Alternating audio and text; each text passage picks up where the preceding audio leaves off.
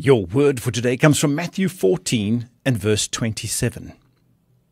But immediately Jesus spoke to them, saying, Take courage, it is I, do not be afraid. You know how reassuring it is to hear these words spoken by our Lord. Life has a way of giving us so much to be worried and anxious about, but in the midst of it all, we can hear his words when he says, Take courage, it is I.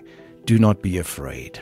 So I want to encourage you today to take heart, don't worry, and be courageous because he is with you.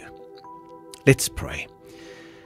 Lord, when you spoke these words to your disciples, they were afraid, and your words brought them comfort and strength. And today I receive these same words into my heart, and I am also strengthened and reassured because you are the same yesterday, today, and forever. In Jesus' name, amen.